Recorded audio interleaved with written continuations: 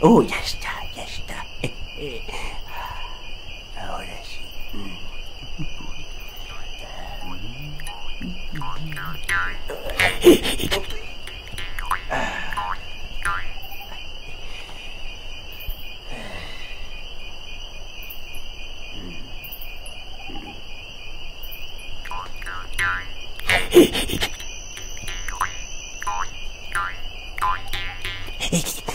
Oh, oh, Fuego, fuego, fuego, fuego, fuego.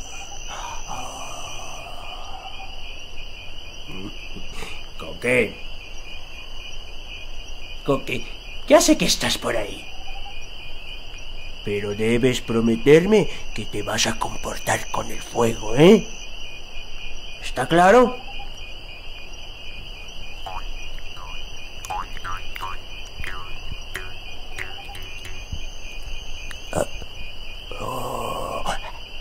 Sí, sí, está claro, está claro. Es que es tan, hermoso. Me encanta, Tata, me encanta el fuego. Su luz, su forma. Es tan fantasmagórico. Ah, quisiera tocarlo.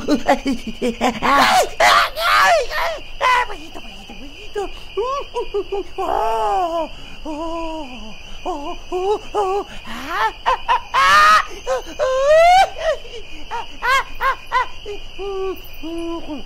Es tan bonito.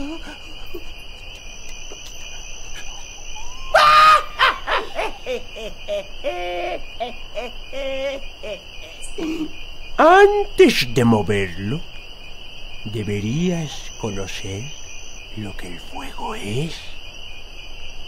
Permíteme que te cuente una historia.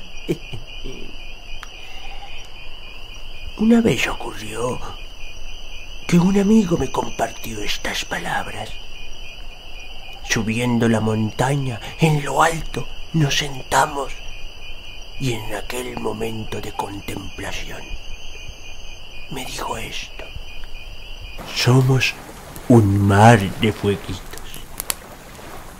El mundo es eso, un montón de gente, un mar de fueguitos. Persona brilla con la luz propia entre todas las demás. No hay dos fuegos iguales.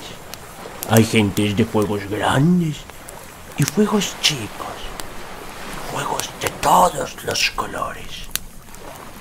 Hay gente de fuego sereno que ni se entera del viento. Y gente de fuego loco que lo llena el aire de chispas. Algunos fuegos son fuegos bobos que no alumbran ni queman. Pero otros arden la vida con tantas ganas que no se puede mirarlos sin parpadear. Y quienes se acercan se encienden. Así es la complejidad y el poder del fuego, Coque. Hay pueblos como los purépechas, que cada año celebran la vida con la renovación y el nacimiento del fuego. Esos son fuegos ancestrales que cuidan y protegen. Eh, Pero también existe, ¿sabes? El, el fuego fatal, que lo quema todo y lo destruye sin piedad, sin límite. Conforme avanza, convierte todo en cenizas. Lo que se le cruza a su paso termina carbonizado. Ese es el fuego más peligroso de todos. Ese es el fuego que lo extingue, que lo quema todo. Por ello, ten cuidado con el fuego.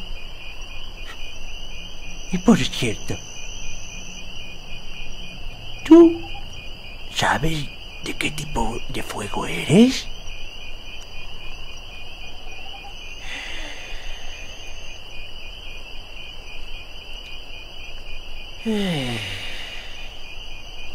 Así es, Coque. La extinción es fatal. Y por eso el fuego también puede ser fatal.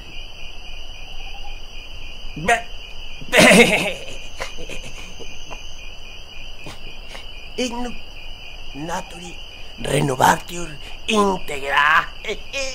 ¿Mm? El fuego todo lo renueva. ¿Qué dices, Coque? ¿Que no creo? Es difícil decirlo. Ustedes jamás podrían entenderlo. Ustedes viven poco, pero nosotros, los hijos de los elementales, es, difícil decirlo.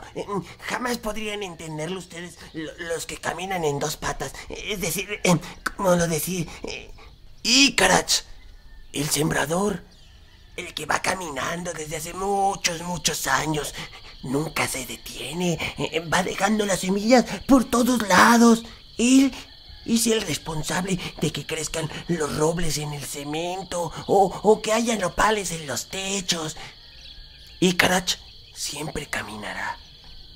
Y una vez me comentó que así como él, hay muchos caminantes, sembradores, que van dejando y esparciendo las semillas por todos lados. Hay semillas, me dice él, que el fuego no puede quemar.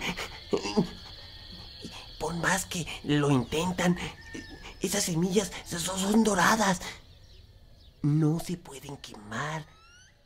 Mientras más las toca el fuego, más fuerte brillan. Uy, sería bueno conocerlas. Yo lo pienso, abuelo, y me pregunto, ¿cómo podría morir la vida?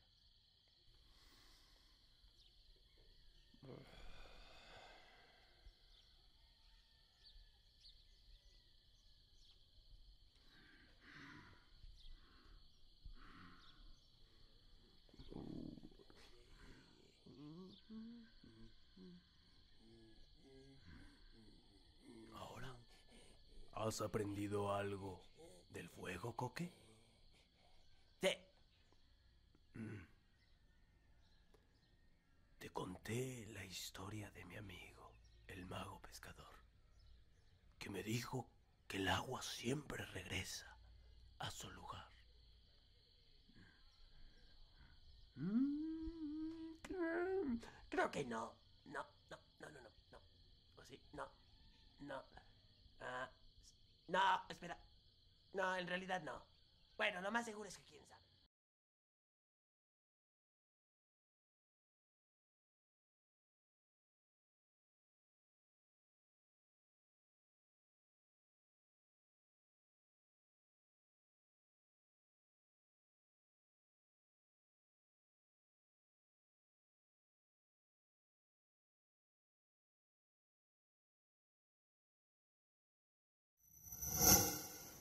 Gobierno de México.